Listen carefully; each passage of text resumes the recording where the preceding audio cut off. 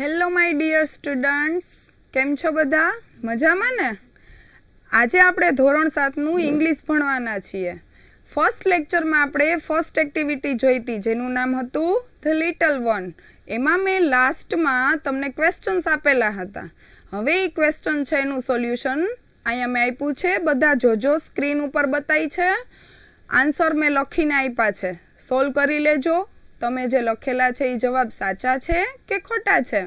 First છે વુ boat the bag હું બોલતી જાઉં છું, તમે તમારા આન્સર ચેક કરી લેજો. The little one bought the bag second છે what did the little one catch the little one caught a beautiful butterfly જોતા જજો આન્સર થર્ડ છે what did the little one fly answer છે, the little one flew a kite. Fourth છે, what did the little one blow? Answer છે, the little one blew a whistle. Fifth છે, what did the little one ring? Answer છે, the little one rang the bell. અહીંયા did plus ring છે, એટલે આન્સરમાં રેંગ થઈ ગયું છે. ડીડ છે એ જવાબ આપતી વખતે આપણે બધા ક્વેશ્ચનમાં કાઢી નાખ્યું છે. યાદ રાખજો. સિક્સ છે. Which words did the little one read નાના બાળકે કયા શબ્દો વાંચ્યા? આન્સર છે the little one read words like white black green and red આ હતા આપણા ફર્સ્ટ એક્ટિવિટીના ક્વેશ્ચન આન્સર્સ ક્વેશ્ચન મેં તમને ફર્સ્ટ જે વીડિયો છે એમાં બતાવેલા હતા, અહીંયા મેં આન્સર સાથે તમને બતાવ્યા છે. હવે આપણું જે યુનિટ છે એનું નામ વિની સ્માઇલ છે. આપણે લાસ્ટ લેક્ચરમાં કીધું હતું કે વિની સ્માઇલ કયો એસ લગાવેલો છે ત્યાં? અપોસ્ટ્રોફી એસ લગાવેલો છે. બરાબર? આ તમારું રિવિઝન છે. આપણે ઓલરેડી ફિફ્થ અને સિક્સ્થમાં અપોસ્ટ્રોફી એસ વિશે ભણી ગયા છીએ. આ શું છે? રિવિઝન છે. એના માટે નાનકડી સમજૂતી આપું છું તમને. અહીંયા હું રીડ કરું છું. એપોસ્ટ્રોફી એસ છે વ્યક્તિનું વ્યક્તિ સાથેનું સગપણ, વ્યક્તિનો વસ્તુ સાથેનો સંબંધ કે માલિકી દર્શાવે છે. અથવા તો વ્યક્તિ, પ્રાણી, પશુ આ બધાના અવયવો દર્શાવે છે. બરાબર? ઇટ મીન્સ કે આ સંબંધક વિભક્તિ દર્શાવે છે. આપણે ગુજરાતીમાં બોલીએ છીએ નો, ની, નું, ના. બરાબર? શું દર્શાવે છે? સંબંધ દર્શાવે છે. સંબંધ દર્શાવે છે. પોઝેસિવ કેસ દર્શાવે છે. સંબંધક વિભક્તિ દર્શાવે છે. અહીંયા જો અમે એક્ઝામ્પલ આપ્યા છે તમને. પેલું એક્ઝામ્પલ છે ધેટ ઇઝ માયાસ ફાધર માયાના પપ્પા. શક પણ દર્શાવ્યું છે કે માયાના પપ્પા. બરાબર? પેલા માયાના પિતા છે. નીચે મેં ગુજરાતી પણ લખેલું છે. એપોસ્ટ્રોફી એસ છે એ શું દર્શાવે છે? નો, ની, નું, ના. સંબંધ અથવા માલિકી અથવા સગપણ અથવા અવયવો. આપણે ફિફ્થ અને સિક્સ્થમાં આનો વિસ્તૃત અભ્યાસ કરી ગયા છીએ. અત્યારે આ જસ્ટ તમારા માટે રિવિઝન છે. સેકન્ડ જુઓ ધીઝ ઇઝ અમન્સ હાઉસ અમનનું ઘર. અમનની માલિકી દર્શાવે છે કે આ અમનનું ઘર છે. બરાબર? એટલે ઘર કોની માલિકીનું છે? અમનનું બરાબર? એટલે અમનની માલિકીનું ઘર છે. થર્ડ છે this is a monkey's tail આ વાંદરાની પૂંછડી છે. જો નીચે મેં ગુજરાતી લખ્યું છે, અવયવ દર્શાવ્યું છે.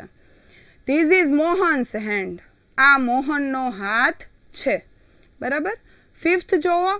This is Ramu kaka's tractor Ramu કાકાનું tractor બરાબર? શું દર્શાવ્યું? માલિકી દર્શાવી. આ રામુ કાકાનું ટ્રેક્ટર છે. ઇટ મીન્સ કે આપણે જ્યારે ગુજરાતીમાં કોઈ પણ વ્યક્તિ વસ્તુનો સંબંધ આપણે કહેતા હોય ત્યારે નોની નોના આપણે યુઝ કરીએ છીએ. એવી રીતે ઇંગ્લિશમાં આપણે સંબંધ દર્શાવવા માટે, નોની નુના દર્શાવવા માટે અપોસ્ટ્રોફી એસ છે એનો ઉપયોગ કરીએ છીએ.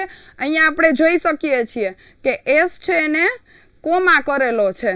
પંક્ચ્યુએશન માર્ક વિરામ ચિહ્ન શું? પંક્ચ્યુએશન માર્ક એટલે કે વિરામ ચિહ્ન. એટલે કે ઉપર આપણે સિંગલ કોમા કરેલો છે, જે નામની પાછળ આપણે એસ છે એને સિંગલ કોમા કરીએ, એટલે એ તમારું ઇંગ્લિશમાં એપોસ્ટ્રોફી એસ અને ગુજરાતીમાં નોની નુના આગળ આપણે એક નાનકડી એવી એક્સરસાઇઝ જોશું, જેમાં મેં એક એક્ઝામ્પલ આપેલું છે અને બાકીના આન્સર્સ છે એ તમારે જાતે લખવાના છે. અને એ જે આન્સર્સ છે એ તમારી ગ્રામર બુકમાં પણ તમે લખી શકશો, કારણ કે આ જે એક્ટિવિટી છે એક્સરસાઇઝ છે એ આપણી ગ્રામર બુકમાં અવેલેબલ છે. એટલે હું તમને એક એક્ઝામ્પલ સમજાવીશ. બાકીના જે બધા એક્ઝામ્પલ છે એ તમારે તમારી ગ્રામર બુકમાં લખવાના છે. ચલો અહીંયા એક્સરસાઇઝમાં આપણે જોશું. એક્ઝામ્પલ છે this is the house of Nitin અને એનો આન્સર છે ધીઝ ઇઝ નીતિન હાઉસ બરાબર? અહીંયા ઓફ વડે પણ નોનીનું ના દર્શાવ્યું છે. બેનો મિનિંગ સરખો જ છે. બરાબર છે? તો ઓફ વડે જ્યારે અહીંયા સંબંધ દર્શાવ્યો છે કે નીતિનનું ઘર, બરાબર? તો અહીંયા ફોકસ શું થાય છે ઓફમાં હાઉસ છે એ ફોકસ થાય છે. અહીંયા હાઉસ છે એ ફોકસ થાય છે નીતિનનું ઘર.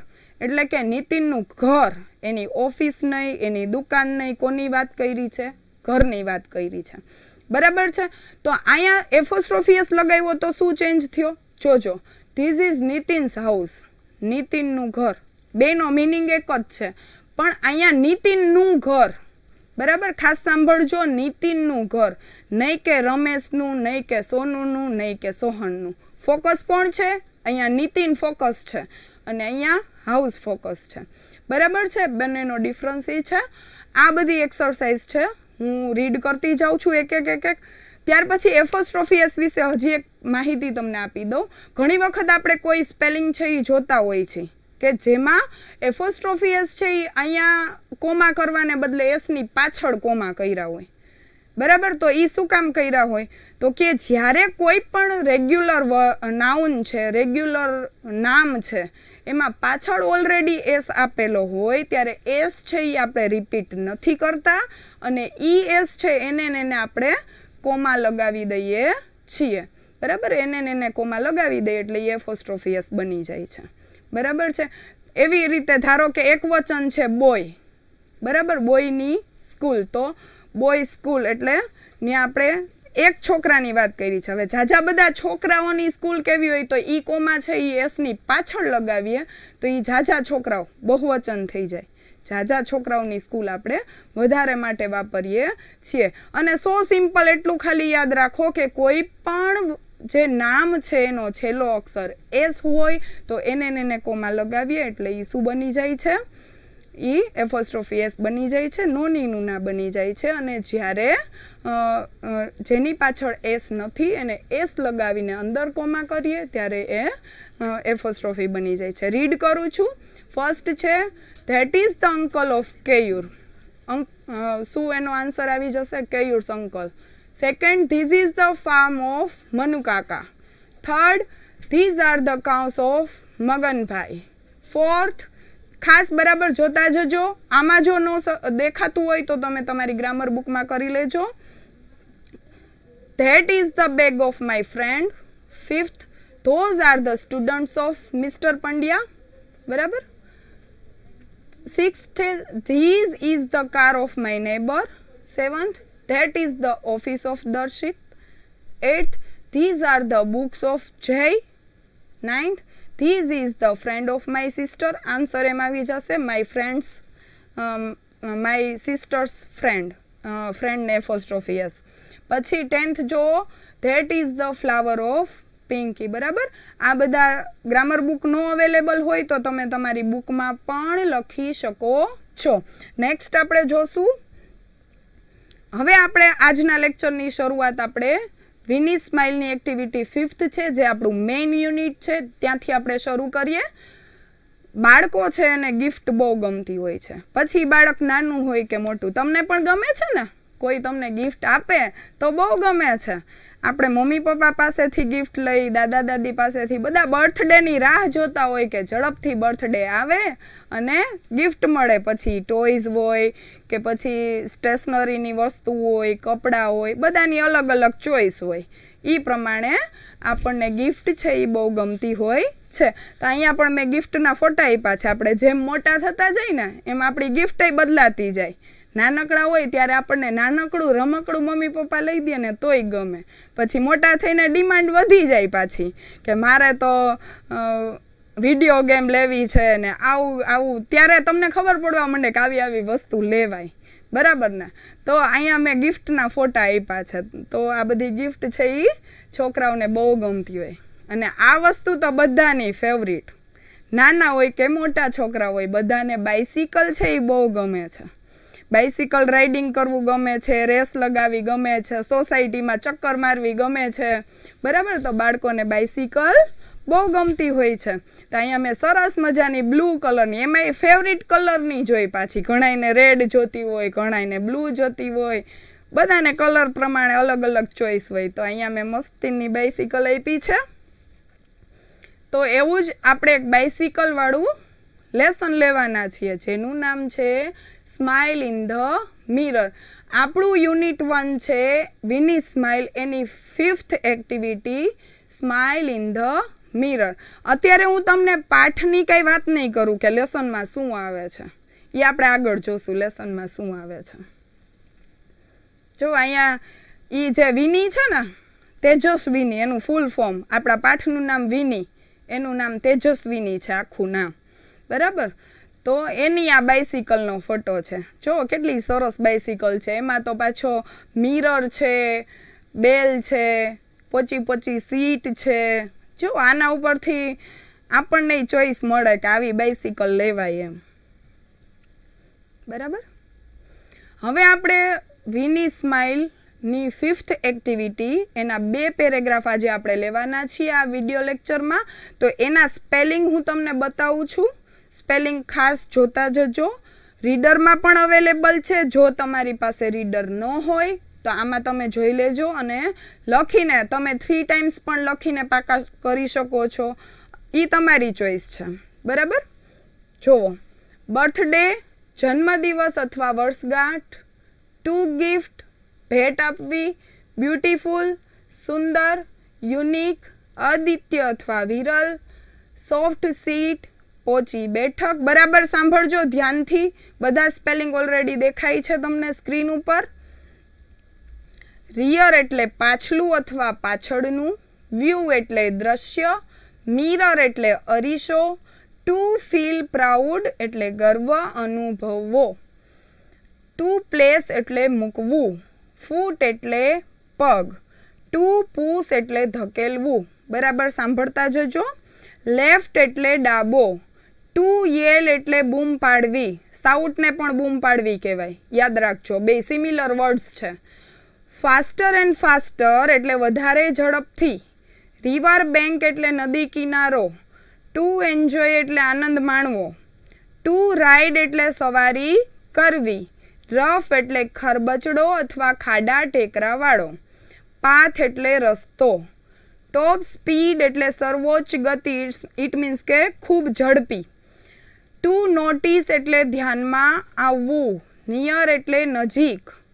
લો એન્ડ બિહોલ્ડ એટલે કે જુઓ તો ખરા. આપણા સ્પેલિંગ્સ છે, જોઈ લેજો સ્ક્રીન ઉપર દેખાય છે રીડરમાં પણ છે. હવે આપણે નેક્સ્ટ જોશું. આપણું જે યુનિટ છે, એના ફર્સ્ટ બે પેરેગ્રાફ લીધા છે.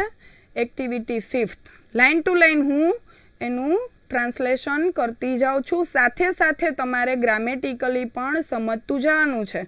કારણ કે જો તમને એવો એસે પૂછાય કે માય બાઇસિકલ તો તમે આમાંથી લખી શકો. તમારી બાઇસિકલ વિશે તમે લખી શકો. બરાબર છે?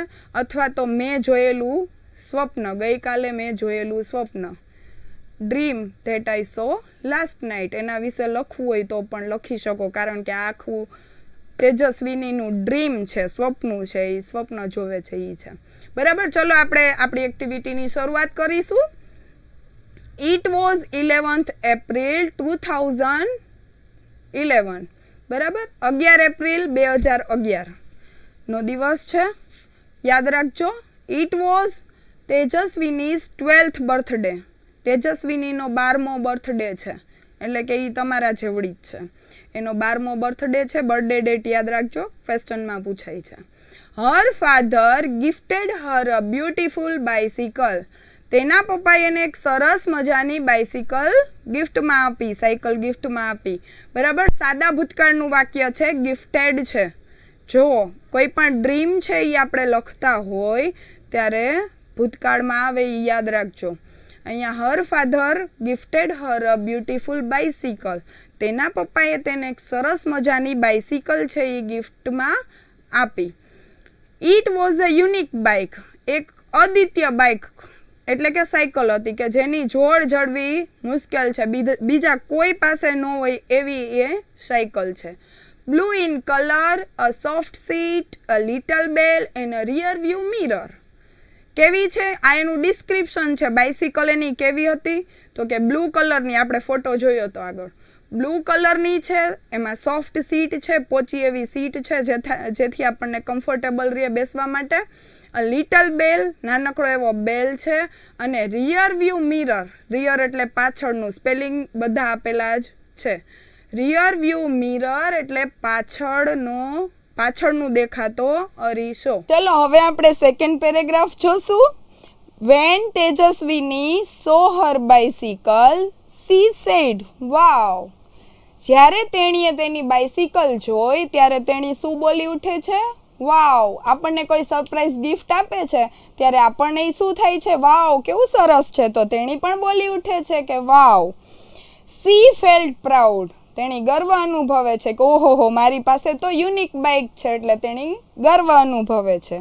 She placed her foot on left pedal and yelled તેણીએ તેનો પગ છે એ લેફ્ટ પેડલ ઉપર મૂક્યો, ડાબી બાજુના પેડલ ઉપર મૂક્યો અને બૂમ પાડી ઉઠે છે. અહીંયા યેલ્ડ છે એનું સિમિલર વર્ડ સાઉટેડ યેલ્ડ એટલે પણ બૂમ પાડવી અને સાઉટેડ એટલે પણ બૂમ પાડવી. તેણી છે એ બૂમ પાડી ઉઠે છે અને આનંદમાં તે બોલી ઉઠે છે. હિયર આ ગો આઈ ગો વુ હુ હુ એવું એ બોલી ઉઠે છે. She moved faster and faster તેણી ઝડપથી અને ઝડપથી આગળ ને આગળ જાય છે એટલે કે બાઇસિકલ રાઇડિંગ કરે છે. She went to the river bank તેણી રિવર બેંક એટલે કે નદી કિનારે ગઈ. એટલે કે પહેલાં એ ક્યાં જાય છે? નદી કિનારે બાઇસિકલ રાઇડિંગ માટે જાય છે. She enjoyed riding the bicycle on these rough path અને રિવર બેંકના જે રફ એટલે કે ખરબચડા રસ્તાઓ છે, ત્યાં તે બાઇસિકલ રાઇડિંગ કરે છે અને એન્જોય કરે છે. અહીંયા રફ પાથ રફ છે એ એડજેક્ટિવ છે. બરાબર? વિશેષણ છે. રસ્તો પણ કેવો? ખરબચડો. She was riding at her top speed તેણી તેની સર્વોચ્ચ ગતિ, આપણે સ્પેલિંગમાં જોયું હતું ટોપ સ્પીડ એટલે સર્વોચ્ચ ગતિ. તો તેણી તેની સર્વોચ્ચ ગતિએ એટલે કે ખૂબ જ ફાસ્ટર તેણી રાઇડિંગ કરી રહી હતી. અહીંયા વોઝ રાઇડિંગ એટલે કયો કાળ છે? વોઝ રાઇડિંગ ચાલુ ભૂતકાળ. વોઝવેર પ્લસ ક્રિયાપદનું આઈએનજી વાળું રૂપ. Then she noticed a red button near the bell પછી તેણીએ બેલની બાજુમાં એક રેડ કલરનું કેવા કલરનું રેડ કલરનું બટન જોયું. અહીંયા નોટિસ્ડ એટલે જોયું. શેનું સિમિલર વર્ડ છે? સો બરાબર? એનું સિમિલર વર્ડ છે નોટિસ્ડ તો તેણીએ રેડ બટન છે એ બેલની બાજુમાં જોયું. વોટ વોઝ ધેટ તે શું હતું? એને પ્રશ્ન થાય છે. ખબર નહોતી કે તે શું છે. સી પુસ્ડ ધ બટન તેણીએ બટન દબાવ્યું. અહીંયા સી પુસ્ડ ધ બટન. સાદા ભૂતકાળનું હકાર વાક્ય છે. એને આપણે નકાર કરવું હોય તો ડીડ પ્લસ કરતા પ્લસ ક્રિયાપદનું કેવું રૂપ આવી જશે? મૂળરૂપ અને કર્મ પછી આખું જે વાક્ય છે એ અધર વર્ડ એમને બરાબર છે? તો સી પુસ્ડ ધ બટન. તેણીએ બટન દબાવ્યું. લો એન્ડ બી હોલ્ડ અને જુઓ તો ખરા કયો આ લો એન્ડ બિહોલ્ડ પાછળ જુઓ, આશ્ચર્ય ચિહ્ન છે. ઇટ મીન્સ એક્સલેમેન્ટરી વર્ડ છે, બરાબર? જુઓ તો ખરા. પછી શું થાય છે એ આપણે નેક્સ્ટ લેક્ચરમાં જોશું. હવે આ બંને જે પેરેગ્રાફ છે, એમાં જે આપણે જોયું કે આ બાઇસિકલ છે, તેજસ્વીની સરસ રીતે ચલાવી રહી હતી. હવે જે આપણે જોશું એ વર્બ જોશું. બે પેરેગ્રાફમાં જેટલા વર્બ આવ્યા છે, એનું મેં તમને લિસ્ટ આપેલું છે અહીંયા. વી વન અને વી ટુ એટલે કે સાદો વર્તમાન મૂળરૂપ અને ભૂતકાળના રૂપો. જોતા જજો. ગિફ્ટ, ગિફ્ટેડ, સી, સો બંને પેરેગ્રાફ છે એમાં જેટલા વર્બ આવેલા છે, એનું આખું લિસ્ટ આપ્યું છે. આ તમારે પાકા કરવાના છે અને એમના વાક્ય બનાવવાના છે. બરાબર છે? ગિફ્ટ, ગિફ્ટેડ સી, સો, મૂળરૂપ છે સે, એનું ભૂતકાળ છે said, feel, felt, place, placed, yell, yelled. બરાબર જોજો અને ધ્યાનથી પાકા કરવાના છે. Move moved, go, went, enjoy, enjoyed, ride, rode, R O D E rode. Notice, noticed push, pushed, come, came, start, started. બરાબર? આ લિસ્ટ છે. આપણા બંને જે પેરેગ્રાફ છે, એમાં આવેલા વર્બ. હવે આપણે ફર્સ્ટ જે પેરેગ્રાફ છે, એના ક્વેશ્ચન્સ જોશું. ખાસ જે આપણે પેરેગ્રાફ જોયો છે, એમાં જે છે વાત એ જ બધા પ્રશ્નો છે. એટલે ખાસ આપણે એ બધા પ્રશ્નોના જવાબ એમાંથી જોઈને આપણે આપણી આઈ નોટબુકમાં લખશું. બરાબર છે? જાતે શોધીને લખવાના છે. પહેલો પ્રશ્ન વેન વોઝ તેજસ્વીનીસ બર્થડે આપણે બર્થડે ડેટ જોઈ છે. Second how old was Tejaswini? કેટલા વર્ષની હતી? Third question what did Tejaswini's father gift her તેના પપ્પાએ તેણીને શું ગિફ્ટમાં આપ્યું? Fourth question describe Tejaswini's bicycle મેં તમને સમજાવ્યું હતું કે કયું ડિસ્ક્રિપ્શન છે બાઇસિકલનું એ એનો જવાબ છે. Fifth only one of its kind means એક જ પ્રકારનું એટલે શું? અજોડ. એ એનો જવાબ છે. આપણે જોશું આગળ. ફર્સ્ટ પેરેગ્રાફના ક્વેશ્ચન હતા. હવે આ સેકન્ડ પેરેગ્રાફના ક્વેશ્ચન હું તમને બતાવું છું. How did Tejaswini feel when she saw her bicycle તેણીએ તેની બાઇસિકલ જોઈ ત્યારે તે શું અનુભવે છે અને શું ફીલ થાય છે? એ first question second question where did Tejaswini go? ક્યાં ગઈ? ફર્સ્ટ એ ક્યાં જાય છે એની બાઇસિકલ લઈને? Third how was the path on the river bank river બેંકનો રસ્તો કેવો હતો? Fourth where did Tejaswini place her foot તેણીએ તેનો પગ ક્યાં મૂક્યો? કયા પેડલ ઉપર મૂક્યો એ છે. પછી જોશું fifth shouted means similar word લખવાનો છે. શું આવશે? યેલ્ડ આવશે. બરાબર છે? ખાસ જોઈ લેજો. આ એના પ્રશ્ન જવાબ છે. ઓકે, આ બધા ક્વેશ્ચન્સ છે એ આપણે આપણી આ નોટબુકમાં લખશું.